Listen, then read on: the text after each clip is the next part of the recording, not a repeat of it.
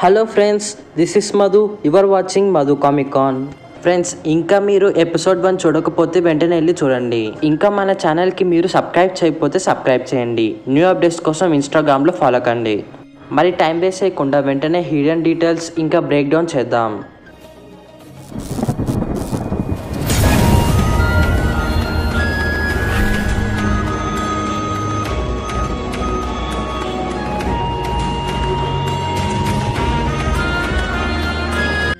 First మనం ఈ series ఒక టైం లైన్ గురించి మాట్లాడుకుందాం.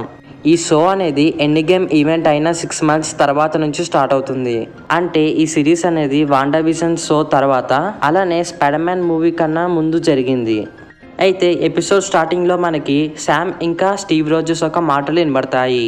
ఆ మాటలన్నీ ఎండ్ గేమ్లో మాట్లాడుకున్నారు. అలానే సెకండ్ డీటెయిల్ కూడా మనకి తెలుస్తుంది. అదే ఓల్డ్ స్టీవ్ రోజెస్ తెచ్చిన బ్యాగ్ని శామ్ యూజ్ చేస్తున్నాడు. అయితే శామ్ కాపాడిన తర్వాత ఒకరిని మనకి చూపిస్తారు. అతని పేరు టోరెస్. ఫ్రెండ్స్ ఈ క్యారెక్టర్ అనేది నార్మల్ క్యారెక్టర్ కాదు. కామిక్స్లో కూడా ఇతను ఒక సూపర్ హీరో.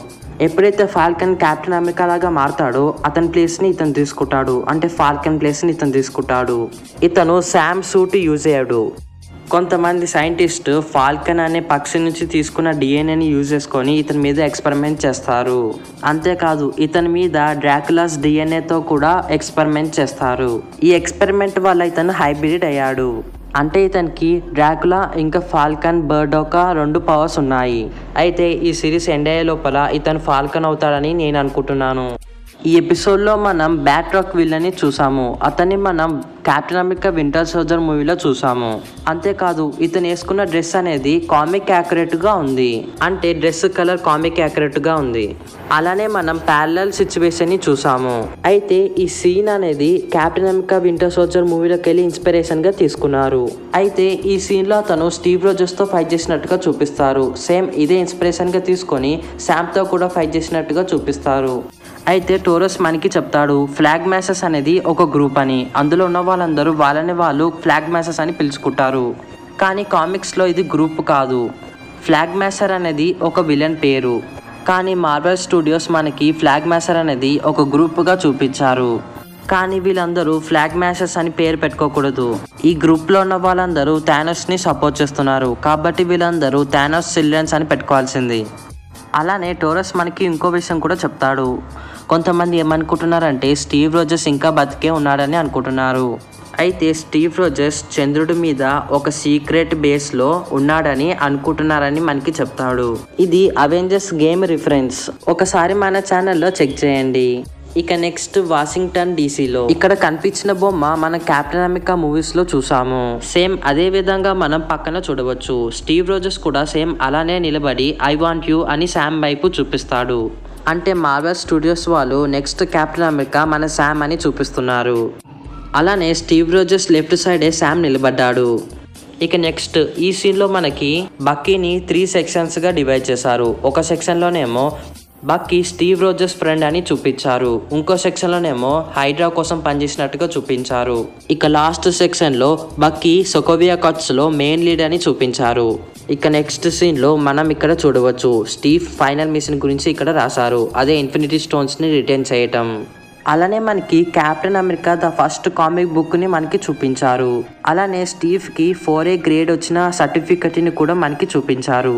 అలానే స్టీవ్ నాలుగు వందల మందిని కాపాడిన సీన్ గురించి కూడా రాశారు. అయితే నైట్ మేర్ సీన్ నుంచి మనకు ఒకటి అర్థమవుతుంది. అయితే బక్కి మైండ్ బ్రెయిన్ వాష్ చేసినా కానీ అతనికి అతను చేసిన పనులన్నీ గుర్తుకున్నాయి. అతను చేసిన పనులన్నీ అతన్ని నైట్ మేర్ లాగా అతన్ని భయపడుతున్నాయి. దాని తర్వాత అతను నిద్ర లేస్తాడు. అప్పుడు మనకి ఇంకో విషయం కూడా తెలుస్తుంది. ఇతను బెడ్ మీద నిద్రపోవట్లేదు. ఇతను నేల మీద నిద్రపోతున్నాడు. ఈ డీటెయిల్ మనల్ని కెప్టెన్ అమెరికా వింటర్ సోల్జర్ మూవీకి తీసుకెళ్తుంది. అప్పుడు కెప్టెన్ చెప్తాడు చాలా కాలం వరకు మిలిటరీలో ఉన్నందుకు సోఫా మీద నిద్ర రాదని.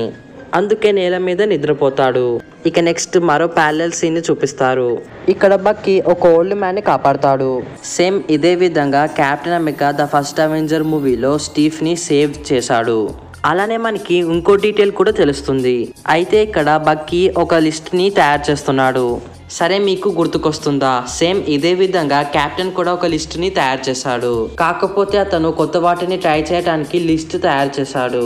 కానీ బక్కీ ఏమో రివెంజ్ తీర్చుకోవటానికి లిస్ట్ తయారు చేశాడు. అంటే బక్కీ మైండ్ వాష్ అయినప్పుడు ఎవరైతే అతన్ని యూజ్ చేసుకున్నారో వాళ్ళందరి పేర్లు రాశాడు. అంతేకాదు అందులో ఒకరిని బక్కీ అరెస్ట్ చేపించాడు. ఇక నెక్స్ట్ యూరి అనే ముసలాయనతో బక్కీ ఫ్రెండ్షిప్ చేస్తున్నాడు. అయితే ఇతని కొడుకుని బక్కీ వింటర్ సోజర్ లాగా ఉన్నప్పుడు చంపేశాడు. అయితే అప్పుడు మనందరికీ తెలుస్తుంది బక్కీ యాక్చువల్గా రెండు లిస్టుని తయారు చేస్తున్నాడు. ఒక దాని గురించి మనం ఆల్రెడీ మాట్లాడుకున్నాం. అదే రివెంజ్ తీర్చుకోవటానికి చేసిన లిస్ట్. ఇంకా రెండోది ఆ లిస్ట్లో ఉన్న వాళ్ళందరినీ బక్కి సారీ అడగాలి. అలానే మనకి శామ్ ఫ్యామిలీ కూడా చూపిస్తారు. శామ్కి ఒక సిస్టర్ ఉంది వాళ్ళ అక్క ఒక విడో. అలానే వాళ్ళ అక్కకి ఇద్దరు కొడుకులు ఉన్నారు అయితే ఫైవ్ ఇయర్స్ నుంచి వాళ్ళ అక్కకి ఇల్లు నడపటానికి చాలా కష్టంగా ఉంది. అయితే వాళ్ళ బిజినెస్ని నడపటానికి వాళ్ళకి లోన్ కావాలి. అందుకే వాళ్ళు బ్యాంక్కి వెళ్తారు. కానీ ఫైవ్ ఇయర్స్ నుంచి ఎలాంటి ఇన్కమ్ లేదు కాబట్టి ఇవ్వనని అంటారు. అలానే మనకి శామ్ ఒక ఫాదర్ అండ్ మదర్ పేరు గురించి తెలిసింది. వాళ్ళ ఫాదర్ పేరు ప్యాల్ ఇంకా వాళ్ళ మదర్ పేరు డార్లిన్. అలానే మనకి వాండా విజన్ రిఫరెన్స్ కూడా చూపించారు. అదేంటంటే వాండా విజన్లో చూపించిన టీవీ ఛానల్నే సేమ్ శామ్ కూడా యూజ్ చేస్తున్నాడు. ఈ టీవీ ఛానల్ని వాండా విజన్ లాస్ట్ ఎపిసోడ్లో మనకి చూపించారు. అయితే నెక్స్ట్ డీటెయిల్ ఏంటంటే ఇక్కడ వీళ్ళు జాన్ వాకర్ యుఎస్ ఏజెంట్ అని ఇంట్రడ్యూస్ చేయలేదు. డైరెక్ట్గా కెప్టెన్ అమెరికా అని ఇంట్రడ్యూస్ చేశారు. అంటే వీళ్ళు న్యూ కెప్టెన్ అమెరికా అని ఇంట్రడ్యూస్ చేశారు. ఇతని పేరు చెప్పలేదు మనకి. ఇతను జాన్ వాకర్ అని మనకి తెలుసు కానీ వీళ్ళు జాన్ వాకర్ అని ఇంట్రడ్యూస్ చేయలేదు. ఇక నెక్స్ట్ ఎండ్ క్రెడిట్ సీన్లో మాద్రిపూర్ అని చూపించారు. ఈ మాధురిపూర్ ప్లేస్ అనేది లోగన్కి ఫేవరెట్ ప్లేస్. ఈ ప్లేస్ గురించి మీరు తెలుసుకోవాలనుకుంటే మన హంట్ ఫార్ బుల్వరిన్ సిరీస్ని చూడండి. ఇక next detail December eighteen nineteen ninety one. ఆ రోజే బక్కి టోనీ స్టార్క్ పేరెంట్స్ని చంపాడు. ఇక నెక్స్ట్ ఫైనల్గా మనకి రెడ్ హుడ్ బుక్లో ఉన్న కోచ్ని మనకి చూపించారు. అంటే ఈ కోచ్ని యూజ్ చేసుకొని జీమో వింటర్ సోల్జర్ని కంట్రోల్ చేశాడు. సో ఈ వీడియో కింద ఫ్రెండ్స్ ఈ వీడియో చూసిన తర్వాత మీకు కొత్త విషయాలు తెలిస్తే కింద లైక్ చేయండి. అలానే మీరు ఇంకా మన ఛానల్కి సబ్స్క్రైబ్ చేయకపోతే సబ్స్క్రైబ్ చేయండి. న్యూ అప్డేట్స్ కోసం ఇన్స్టాగ్రామ్లో ఫాలో కండి. Thanks for watching signing off Madhu I am conflicted, watching where I step still, hanging in the balance. Not the life I want to live, I want to take it all, tall Fear I wait the person you are